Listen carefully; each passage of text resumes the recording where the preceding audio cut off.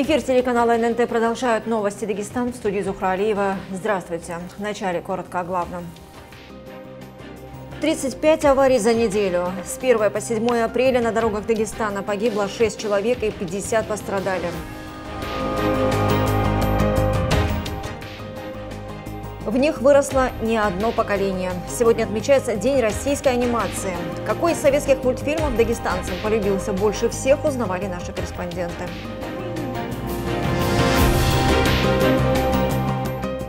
Тысяча пятьсот рублей за ковыряние в носу.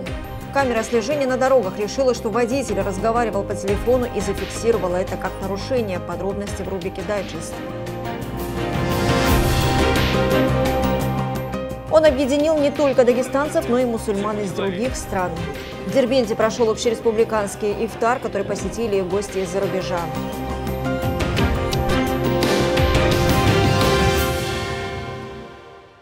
Шесть человек погибли и 50 пострадали в результате ДТП, которые произошли на дорогах Дагестана с 1 по 7 апреля. Как сообщает региональная госавтоинспекция, всего за минувшую неделю в республике зафиксировано 35 аварий. Одна из них произошла накануне вечером на трассе «Кавказ» в Дербенском районе. Там при столкновении двух отечественных легковушек на месте скончался один из пассажиров и еще четверо были госпитализированы в больницу с травмами различной степени тяжести. И к другим темам. В Унсукульском районе начали ремонтировать дорогу Буйнакск-Гимры-Черкота, сообщает Минтранс Дагестана. Работы проводятся по нацпроекту «Безопасные качественные дороги». Они включают в себя усиление асфальтобетонного покрытия с восстановлением поперечных и продольных уклонов, ремонт и очистку системы водоотвода, восстановление обочин и кюветов, очистку обвалов и осыпей. Дорожные службы также проведут в нормативное состояние три моста. А еще установят на этом отрезке металлическое барьерное ограждение, бетонные блоки, сигнальные столбики, новые дорожные знаки и нанесут горизонтальную разметку. Ежедневно на объекте задействовано 15 единиц спецтехники.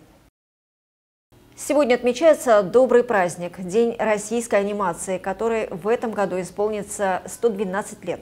Это замечательный повод погрузиться в чудесный мир мультипликации и пересмотреть все свои любимые картины. А наши корреспонденты тем временем решили узнать у жителей столицы, какие советские мультфильмы их любимые.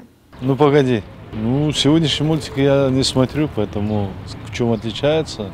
Наверное, воспитанием. Там больше воспитательского, воспитательного было в советских мультиках. Помните обезьянку? У которой было много разных детишек, и она вечно за ними гонялась. Я забыла, как он называется, но песня там такая задорная. Я еще любила э, котенок по имени Гав, когда маленькая была, его любила. Что еще? Чебурашку любила. Да все советские мультики смотрели. Конечно, не один, а много любимых. Назовите их. Зухра и Тагир. Это мультик такой? Да. Давно смотрела. Ну, нравится и по сей день. А почему именно «Ну, погоди»? Ну, как бы детство, да, мультик детства. А мне все советские любимые, это сейчас не любимые. Наверное, а, ну, кот погоди. Леопольд. Кот ну, Леопольд. погоди, наверное.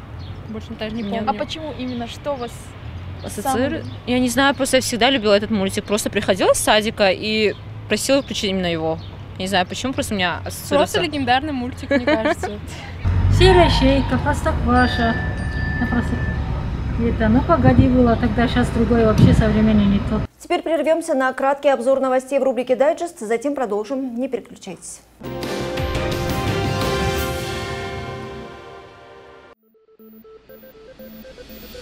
Не уверен, не ковыряй.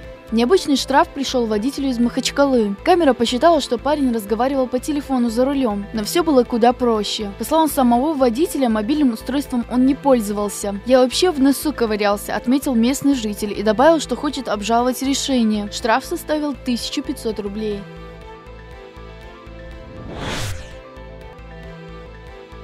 Новый вид с новым названием. 350 миллионов рублей выделят на реконструкцию парка имени Сулеймана Стальского в Махачкале. Первый этап будет завершен в середине мая. Здесь заменят тротуарную плитку, обновят освещение, появится фонтан. А завершение второго этапа ожидается в сентябре текущего года. К этому времени высадят порядка 300 деревьев и 250 тысяч цветов. Проект подразумевает под собой объединение нескольких зон набережной в единый парк. Саранча может захватить 46 тысяч гектаров в Дагестане в текущем году. Нашествие насекомых ожидается в 10 районах в конце апреля. При этом в Минсельхозе республики отмечают, что площадь распространения в республике стремительно снижается. Напомним, в текущем году на проведение химообработок в бюджете региона заложено 15 миллионов рублей. Теперь можно позволить себе тратить чуть больше обычного. Средняя зарплата в Дагестане в январе текущего года превысила 39 тысяч рублей. По сравнению с аналогичным периодом прошлого года она увеличилась почти на 12% или на 4 тысячи рублей. В минувшие выходные глава Дагестана инициировал проведение двух коллективных ифтаров. Первый, грандиозный, общереспубликанский, состоялся в Дербенте, где приняли участие около 10 тысяч человек, в том числе первые лица республики и послы девяти арабских стран.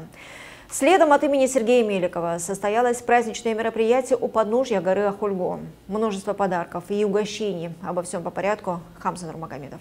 Рамадан объединил весь Дагестан. Тому подтверждение коллективный ифтар, который состоялся в Дербенте. Представители власти духовенства, послы девяти арабских стран, гости из Палестины, знаменитые исполнители нашидов собрались вместе с дагестанцами провести этот прекрасный вечер. Во время своего визита сюда в июне прошлого года наш президент в очередной раз поразился красотой и историей Дербента. Но при этом он сказал, что в России оскорбление религиозных чувств всегда будет нарушением закона. При этом большого уважения сегодня заслуживает принципиальная позиция муфтията Республики Дагестан, который твердо противостоит попыткам посеять семена вражды и нетерпимости. Сегодня мы живем в непростое время, когда интернет и телефон заменили человеку общение. Сидя дома, мы узнаем о том, что происходит на другом конце Земли.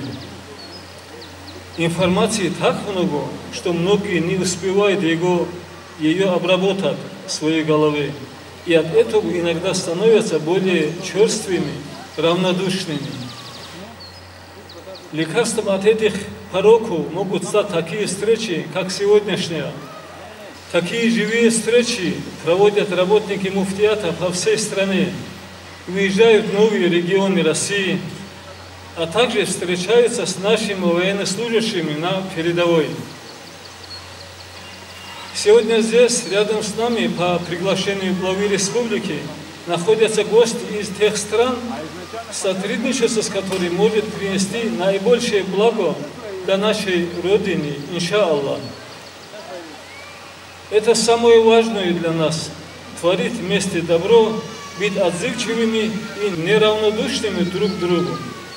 Тем более мы знаем о том, что многие наши братья и сестры в этом мире лишены не только того, чем мы пользуемся каждый день, но и еще находятся в опасном положении. Да, я говорю о палестинцах, переживания за которых объединили уму. Я говорю также о братьях и сыновьях из Дагестана, которые сегодня находятся на передовой зоне СВО. На сцене перед многочисленной публикой звучали строки священного Корана, проповеди, а также мавлиды от известных зарубежных и местных исполнителей.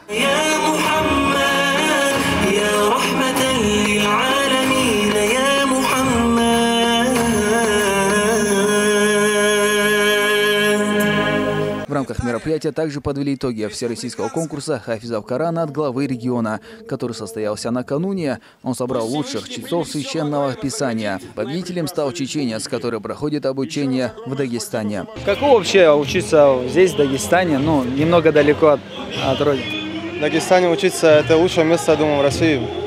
Да и не только в России, одно из лучших мест в мире, где можно изучать ислам. Тем более на все доступном языке, на русском языке.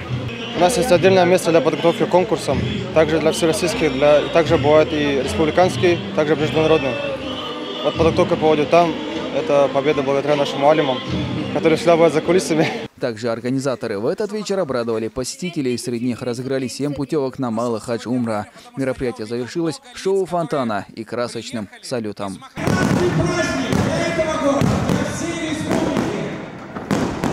Алхамдулillah, наше время особенно когда вот пытаются разобщить наше общество, когда есть э, и со стороны других стран пытаются разделить нашу республику. Очень хорошее мероприятие, таких много должно быть. И мы рады, что такое мероприятие именно в Дербенте прошло, где есть разные конфессии, все три конфессии, представители э, и христианские, и иудейские, и мусульманские. И все представители здесь были, присутствовали на этом ифтаре. И мы всегда вот именно дружно, сплоченно все вместе работаем. На следующий день коллективный ифтар от имени главы республики состоялся и на исторической горе Ахульго в селении Ашильтаунцу Кульского района. В ней также приняли участие местные жители и преимущественно семьи участников СВО. Хамз Нурмагомедов, Ислам Халиков, Халид Ахмаев, Дауд Гасанов, телеканал ННТ, Дагестан. Женские ифтары в Рамадан стали неотъемлемой частью в жизни мусульманок Дагестана. Мероприятия объединяли представительниц разных районов, городов и организаций. На одном из уже заключительных в этот священный месяц женских ифтаров побывала Айша Тухаева. Ей слово. Меня, меня переполняет, конечно, все эти вот, э, все, что я вижу, это впервые со мной. Ну, ну красиво, красиво. Все прям идеально. Я даже не знала, что такое подобное бывает. Хочу сказать большое спасибо организаторам за такое благое э, дело, за приглашение на этот ифтар, такой святой месяц Рамадан. Шамильский, Чародинский, Сергокалинский и другие районы Дагестана в лице их жительниц каждый день собирались в одном из банкетных залов Махачкалы. Всех их заблаговременно оповещали в женском направлении отдела просвещения при Муфтиате Республики. Были районы, которые нам приходилось объединять в силу, в силу того, что мало представителей приходило. А были районы, которые в этом зале превысило количество 800 человек. На каждом мероприятии присутствовало несколько сотен женщин. Всех объединить, заинтересовать, не дать ни одной из них заскучать или почувствовать себя лишней на празднике. С такой задачей весь этот месяц справлялись сотрудницы. Хвала Всевышнему Аллаху, сегодня собралось намного больше гостей, чем мы рассчитывали. Также нас сегодня почтили своим а, присутствием женщины из Палестины, дети, так как они проживают в нашем районе Новострой. Сегодня, хоть здесь и собираются представительницы Новолакского района, но присутствовали не только жители муниципалитета. Среди гостей те, о ком сейчас больше всего проявляют заботы, наши палестинские сестры, те, кто остался без дома, без родины и частично без семьи. Я там прожила 27 лет. Палестина – это моя вторая родина, даже больше. Я всегда считала себя русской, но После того, как я приехала сюда, я поняла, что я палестинка. И для меня боль этого народа – это моя боль. То, что происходит сейчас, это все меняет, понимаете? То есть я не могу вот э, даже иногда вот кушать, когда я знаю, что там люди не едят и их убивают. Поэтому это очень тяжело. Это самый тяжелый рамадан в моей жизни. На мероприятии прозвучали нашиды на лакском языке без инструментального сопровождения, проповеди богослова и сотрудниц отдела. Особенно всем понравились выступления детских ансамблей. И в каждом выступлении призыв к благому. Месяц Рамадан подходит к концу, и многие признаются, что уже с нетерпением ждут следующий Рамадан и новых, теплых, объединяющих встреч. Айша Тухаева, Шамиль Хирисулаев, Дауд Гасанов, Новости ННТ, Махачкала.